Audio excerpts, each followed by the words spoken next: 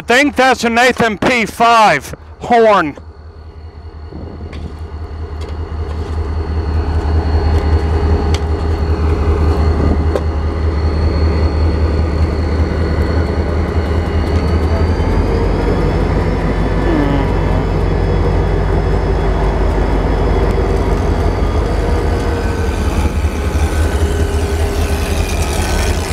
And there's 3505 in front of you.